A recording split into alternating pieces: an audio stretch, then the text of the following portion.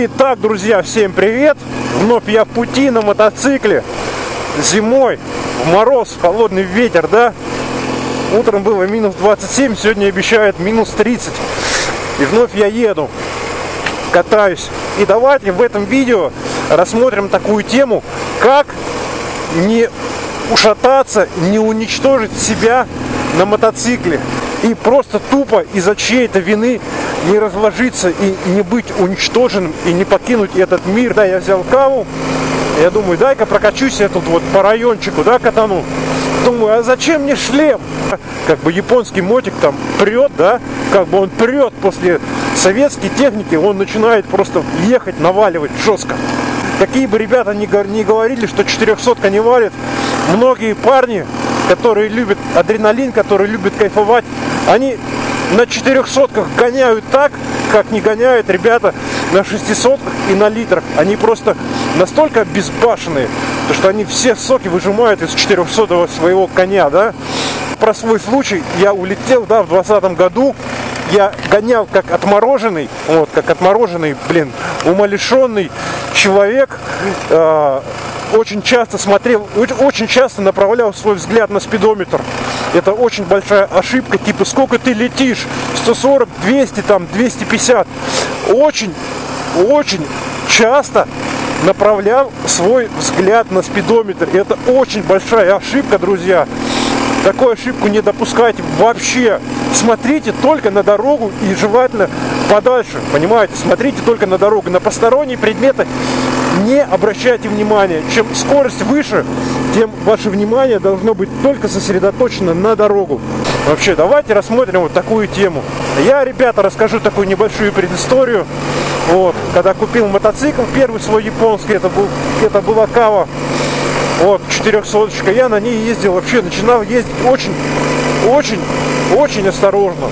Но, ребят, я очень много проездил на советской технике, очень много проездил на советской технике с 11 лет. Я проездил на советской технике и когда я взял каву, я думаю, дай-ка прокачусь я тут вот по райончику, да, катану. Думаю, а зачем мне шлем? Номер один. Безопасность. Б. Безопасность. Экипировка. А зачем мне шлем? Я поеду так, я всю жизнь на ежаке, на Урале, там, на Альпе, на чем-либо катался без шлема. Зачем мне шлем? Ну и чего думаете? А чем мне шлем? Одел шапку, очки одел, поехал по райончику кататься. Задувает ветрища. Во-первых, ехать некомфортно. Я еще могу сказать, в шлеме я катался крайне редко. И особо мне удовольствие как бы не приносило это на русской технике. Вот. Сейчас объясню, почему, что да как и, и почему, да, вот таким способом. Вот, ребят, поехал я, еду, блин, проехал километров 10 так, да, потом выехал на трассу, потом еду по трассе, начинает задувать ветрище, я разгоняюсь 70, блин, на спидометре это там 180, да, как бы японский мотик там прет, да, как бы он прет после советской техники, он начинает просто ехать, наваливать жестко.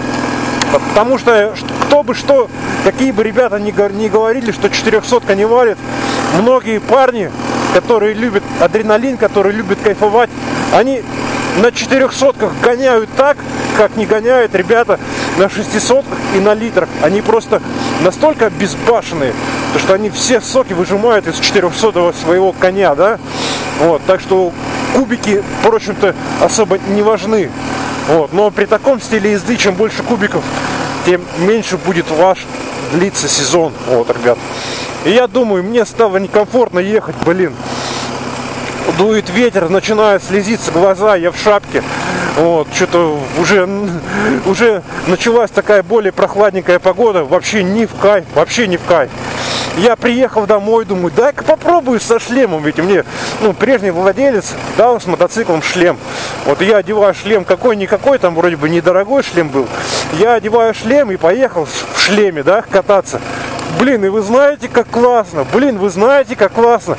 Это не только безопасность, но первое, то, что я почувствовал, конечно, безопасность я не почувствовал, но я почувствовал кайф, почувствовал все плюшки, да, которые мог на тот момент осознать. Это то, что мне не дует ветер, раз. То, что не, следят, не слезятся глаза, то, что ничего не шумит, блин, вот этот ветер не шумит в ушах, не продувает уши, это уже здоровье, ребят. Глаза не продувает, уши не продувает, это уже слух, слух и зрение. Вот. И, соответственно, это безопасность. Если вы упадете, соответственно, без шлема просто убийца даже вот с небольшой высоты очень легко удариться головой об асфальт вообще. А в шлеме даже можно сильно удариться и ничего не будет вам. Вот, ребят, и с тех пор я начал ездить и кататься только в шлеме. Только в шлеме. Особенно если шлем классный, очень прозрачный визор. Если шлем новый, то у вас визор не потеет, хорошая вентиляция, и вам просто ехать одно наслаждение и один кайф. Вот, ребята. Так что безопасность это номер один. Шлем. Далее что? Далее, ребята, заходим уже в тему безопасности. Б, безопасность, да, это экипировка. Я рассказываю про свой случай. Я улетел, да, в 2020 году. Я гонял как отмороженный, вот, как отмороженный, блин, умалишенный человек. Э, очень часто смотрел, очень часто направлял свой взгляд на спидометр. Это очень большая ошибка, типа сколько ты летишь, 140, 200, там, 250.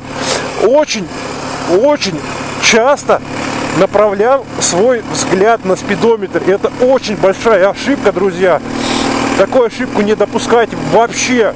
Смотрите только на дорогу и желательно подальше, понимаете? Смотрите только на дорогу. На посторонние предметы не обращайте внимания. Чем скорость выше, тем ваше внимание должно быть только сосредоточено на дорогу. Вот, ребят. И с тех пор, как я улетел, у меня, конечно, а, а, короче, очень получил сильные травмы. Вот. Но этих травм я мог избежать, купив всего черепаху, грубо говоря, за полторы две тысячи рублей, даже бэушную черепаху, я бы избежал уже этих травм, да, которые, ну, по сегодняшний день приносят дискомфорт и неудобство. Ребята, не экономьте, это такие маленькие деньги, полторы-две тысячи рублей, даже пять тысяч рублей на хоть какой-то экип, даже тупо на коленнике, да, вы просто не вылечите свое колено, не вылечите свой локоть, не вылечите свой позвоночник за 5000 рублей. За 8 тысяч рублей вам только могут сделать хороший такой, как бы, снимок, да, всего тела, как бы, ну, всех костей, да, компьютерная диагностика, компьютерная томография. Вот, так что не экономьте вообще на экипировке. Купите, если у вас не так много денег, купите самый дешевый хотя бы бэушный экип но чтобы маленечко он был, конечно, фирменный. Вот, ребята, не экономьте. Так, я думаю, что, что тема с экипировкой вам понятна. Тема безопасности я вам раскрыл. Это должно дойти. Вам все-таки, блин, вы, ребята, должны понять, если у вас вообще нет денег, то есть еще другие примеры, как обеспечить свою безопасность. Это можно найти какую-нибудь куртку, да, из 90 кожаную, да, купить ее там за 500 рублей, за 300 рублей. Я уже думаю, если у вас есть мотик 500 или 300 рублей или 1000 рублей, это как бы, ну, блин, вообще не деньги, потому что эти деньги вы будете тратить на бензин, а за все лето вы потратите очень много этих денег чисто на бензин. Вот. Купите старую кожаную куртку, сделайте такие, купите а, Короче, такой защитный материал продается в строительных магазинах, типа как вот для наколенников, да. Вы можете, допустим, взять какую-то пластмассу, вот, вшить в эту пластмассу, там, я не знаю, а, мягкий материал, который продается также в строительных магазинах, то, что вот в наколенниках, да, вот для безопасности, просто делать себе вставки в этой куртке и все, и у вас уже будет безопасность, вы уже вы уже будете, вы не понесете как бы тот урон, тот урон, да, те травмы, которые, которые будут вас мучить в дальнейшем всю жизнь, ребята. Вот оно что. Я думаю, вы поняли. Так что на коленнике куртка, ботинки. Ботинки можно керзовые сапоги просто на самый там худший вариант, да. Можно в кирзачи повшивать вставок и нормально все будет. Или в те же берцы сделать вставки по бокам и нормально все будет. И, соответственно, шлем, ребята. Все. Перчатки нужно покупать тоже. Вот. Ну, как бы с перчатками, мне кажется, тут вопрос вообще просто не обсуждается. Перчатки это как ну, их можно взять везде. хоть на Али, хоть на Алиэкспрессе, хоть абсолютно везде, ребята.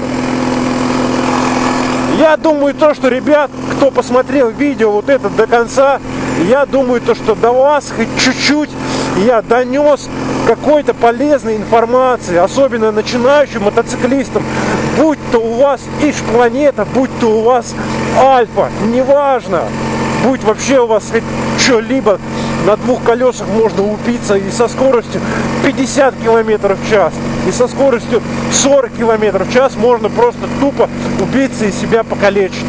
Вот. Тот, кто говорит, я на этом мопеде не могу разогнаться больше 60, мне ничего не будет, вы абсолютно не правы. Позаботьтесь о своем здоровье, ребята. Вот такая вот сегодня темка была. А я еду на Уральчике, ребята потихонечку, зимой. Кайфую. Мне в кайф.